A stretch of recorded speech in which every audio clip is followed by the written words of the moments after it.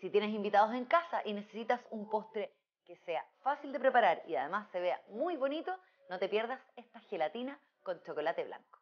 Lo primero que hacemos es derretir nuestro rico chocolate blanco. Este formato de moneda a mí me encanta porque es fácil de derretir y es un chocolate muy rico, fino y muy suave.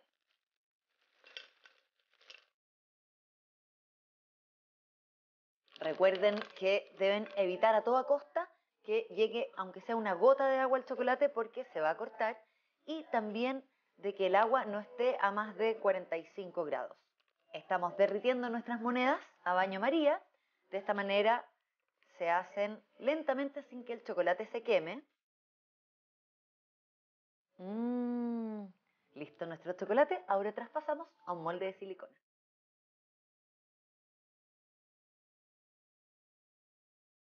Llevamos al refrigerador. Yo lo voy a hacer sobre esta tabla. De esta manera el chocolate no se mueve y nuestros moldes van a quedar bien parejitos. Y esto en media hora más va a estar listo para la segunda capa. Por mientras vamos a preparar la segunda capa de nuestro postre. Para eso tenemos gelatina sin sabor, la vamos a hidratar, revolvemos bien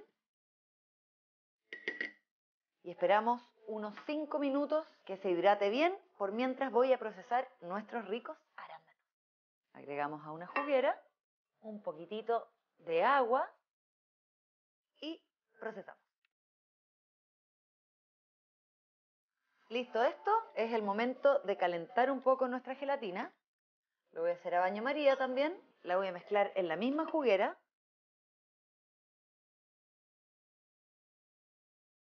Revolvemos un poquito con el mismo tenedor. Y vamos a ver si está listo nuestro chocolate. Solo agregamos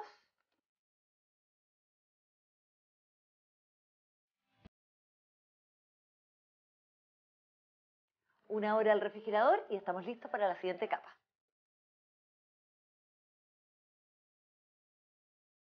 Lo mejor de trabajar en una cocina de televisión es que todo te espera rápidamente, limpio, en dos segundos vamos a hacer la tercera capa. Tenemos frambuesa, vamos a procesar.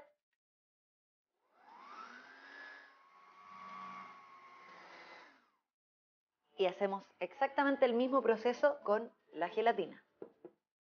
En agua fría primero, hidratamos, mezclamos bien y lo calentamos a baño María.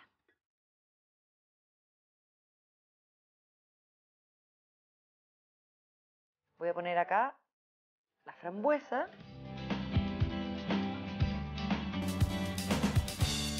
Y acá la mezclo con nuestra gelatina.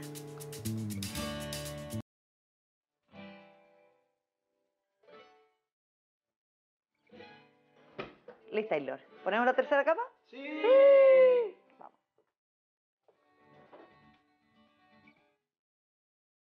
Vamos, vamos.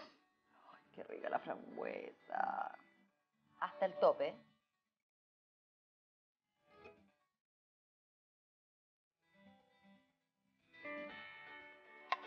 Claro, así no se ven muy atractivos, pero se mueren lo bonito que queda varias capas de colores distintas.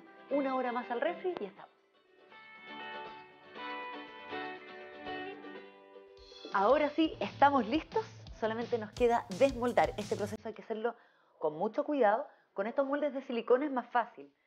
Lo vamos despegando poco a poco en los bordes. Y ahí viene. Mmm, qué rico.